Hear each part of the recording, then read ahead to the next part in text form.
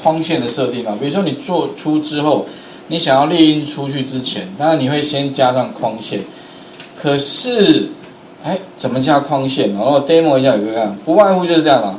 假设我要针对这个范围，我要先输出之前，那加框线不外乎啦，比较简单的。第一个，它预设哈，如果你用预览列印来看，它预设的框线是没有的，所以你印出来是没有框线。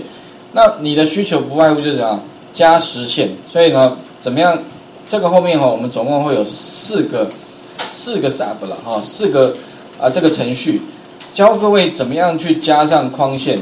那框线的话有实线有虚线，还有很多种样式。那怎么样加实线？OK，那加实线的话，我是加 A one 到 G 七这个范围。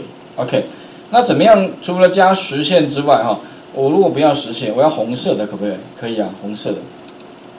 OK，那你想说，那我老师我不要红色，我要红色的那个线哈。帮我加粗一点好了，不然我这样印出来线条不明显。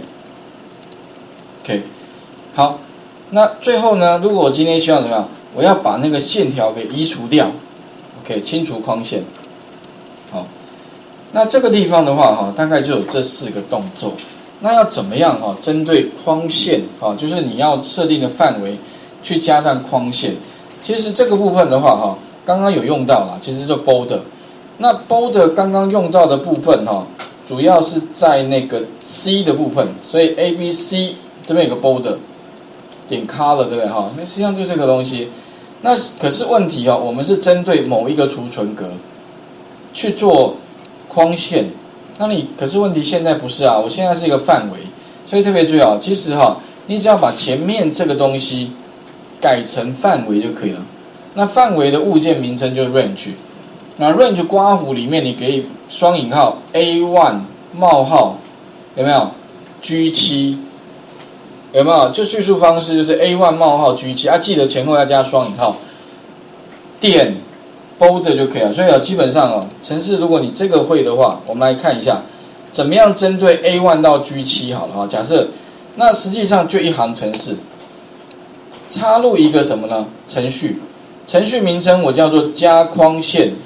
底线实线，按确定。上面这个是注解，这个主要是给给给各位参考理论上其实就一行而已了哈，就是这样一行。撰写的方式就是 range 有没有？这个 range 是另外物件哦，哈，刚刚是 sales 物件，sales 物件是一个储存格。所以如果你将来，当然你一个一个储存格慢慢处理可不可以？也可以啦，不过太浪费时间了。一般都是给它一个范围。那范围你就给它 range，OK，刮弧哦。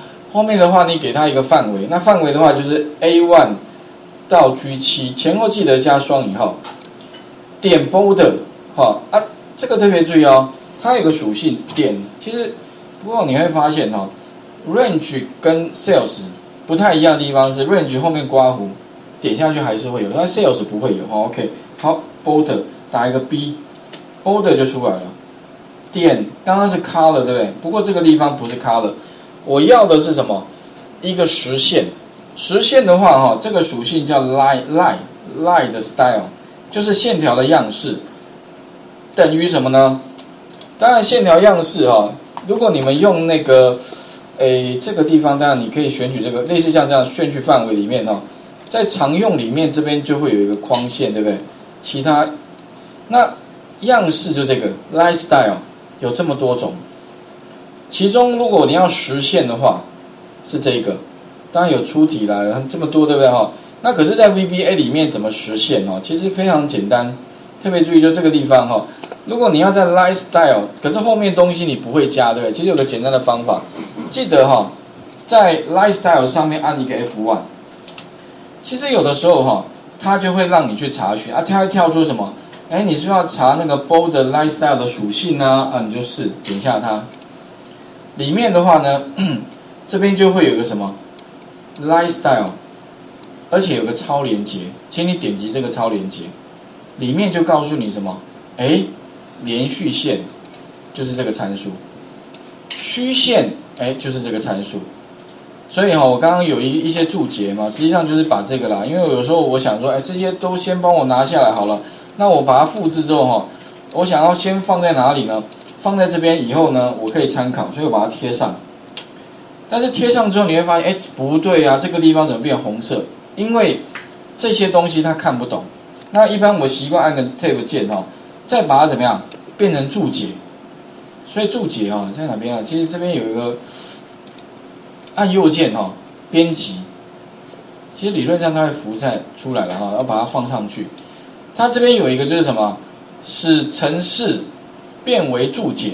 注解就是说我要参考，但是我要放在里面啊，啊不执行的话，其实你可以怎么样按下它，它会自动帮你把这底下前面都加上一个单引号，哎，你就把它放着，它不会执行，但是你可以参考。哦，这一招其实还蛮不错的。那如果说你将来哈，lifestyle 后面要一个实现的话，那你就把这个参数这样拿来用就可以。按 Ctrl 键，OK，这样子的话呢，它就会帮我把这个范围格式化成一个实线。